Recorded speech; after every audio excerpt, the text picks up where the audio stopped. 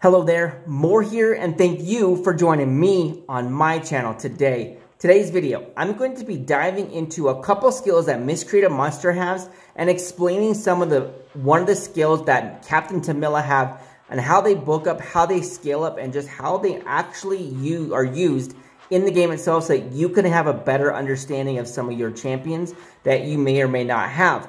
Some of these things, especially Captain Temila's skills, her skill and the way it works and books up also applies to other champions in the game, so this concept is good knowledge for you to know. Better understanding of the game allows you to uh, progress your account much more efficiently and effectively.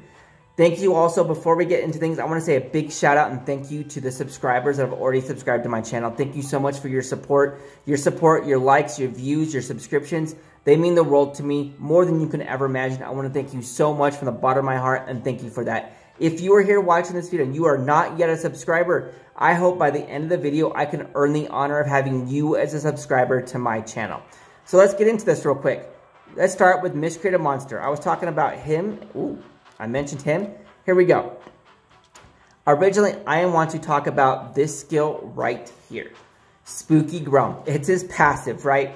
He has some interesting names in his, in his skills, right? All right, Spooky Groan. Places a fear debuff on the attacker for one turn whenever an ally is attacked while under an ally protection.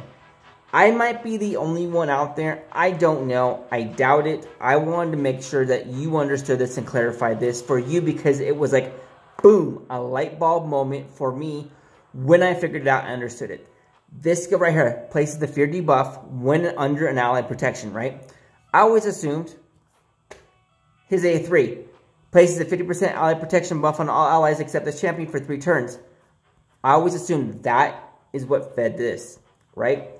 Idea of it, when they designed his kit, it does. He puts an ally, uh, ally protection on everybody on the team except for himself, and that feeds into this passive for a fear to proc and land on the enemy. Mind you, it's amazing little skill. No chance, just lands assuming assuming he uh, wins the accuracy check, right? But it's from ally protection. I always assumed it's from his ally protection. It's not. It's from any source of ally protection. So we're going to go to Captain Temila. I mentioned her on her skills, right? We're going to talk about this one right now. It's an ally protection. Placed a 50% ally protection buff on all allies, except this champion for two turns. Captain Temila places an ally protect. Miscreated Monster places an ally protect. Both of them, regardless of who they're on and where they come from, will proc this fear, to include an ally protection applied to Miscreated Monster himself. That will also proc the fear to land on an enemy champion that attacks Miscreated Monster. That is an amazing, boom, light bulb moment. So if Miscreated Monster's ally protection is not up, but Captain Temila's is up and they're on the same team, you can still get those fears landed on the enemy team. Captain Temila's ally protection on Miscreated Monster will still put a fear on the enemy team. That is awesome. That's amazing because fear is an nice debuff. Let's get into that right now, okay? Fear. What does fear do? Fear is a debuff on the champion that gives him a 50%, gives you, I guess, a 50% chance of that champion's action being stopped. Straight up. A 50% chance of the action being stopped. So, for example, if somebody goes to take a turn.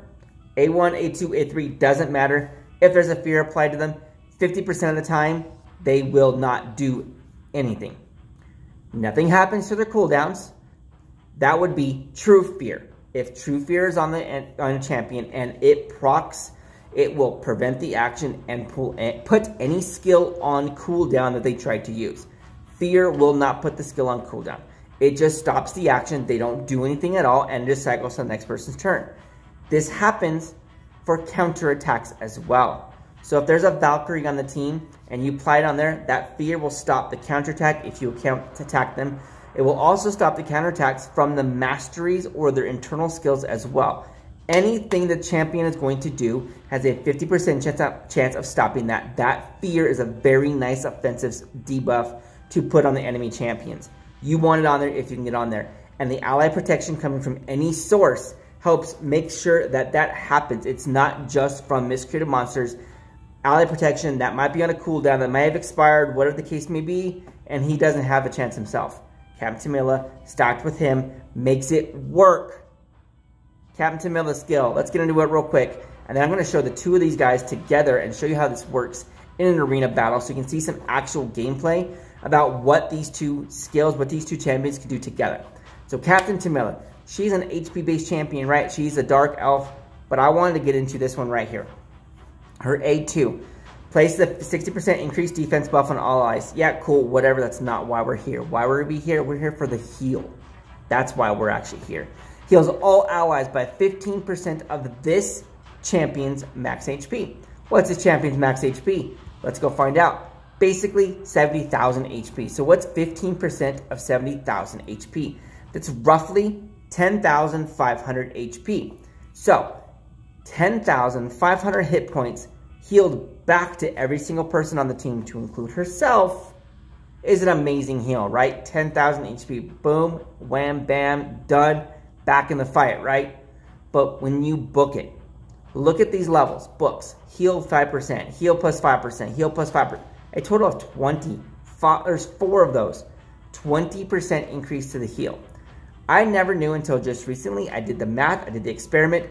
Is this additive or multiplicative for the healing? So here's the difference. If it's additive, that 15% heal becomes a 35% heal. That's a 35% heal on a 70,000 hit point champion. That's a huge, huge, huge heal, right? That's what, 7, 14, 21, it's like 24 and a half, almost 25,000 HP hit point heal. Wow. Overpowered. Yeah, that's why it's not that way. It's multiplicative, which means you take that 10,500 HP heal and you times that by 20%. So it's an 20% stronger heal is way it works. Ends up being about a 13 to 14,000 point heal.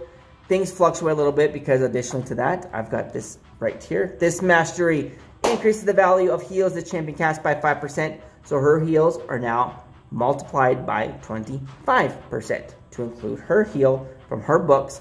Plus this one, 25% total. Her heals actually end up being about a 13,500 HP heal on the entire team.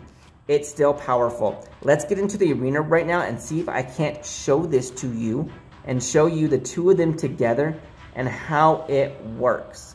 Let's do a refresh. Let's see what we got going on. We have a one Mausoleum Mage. I don't want to show you that right here on camera, but I want, I want to make sure we win though still. Let's try this one right here.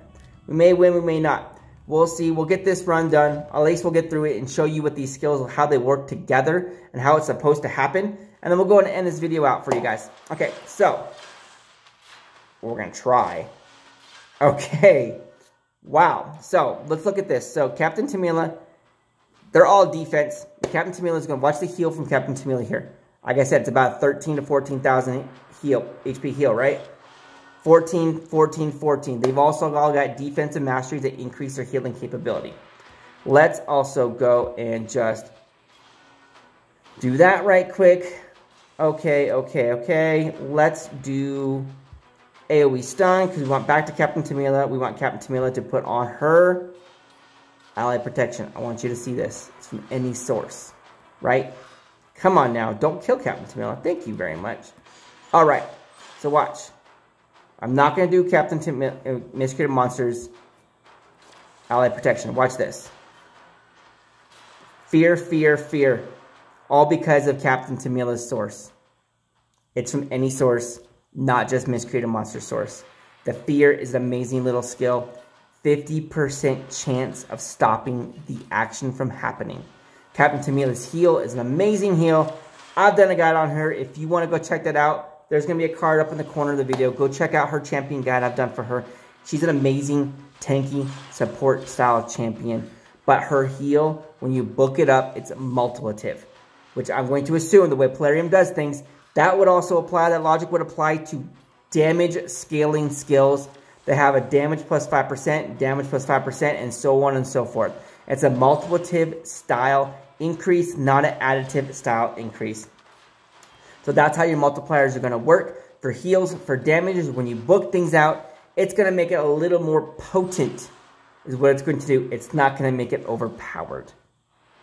Thank you for joining me on the video. If you haven't yet, hit that subscribe button, and I'll see you on the next video.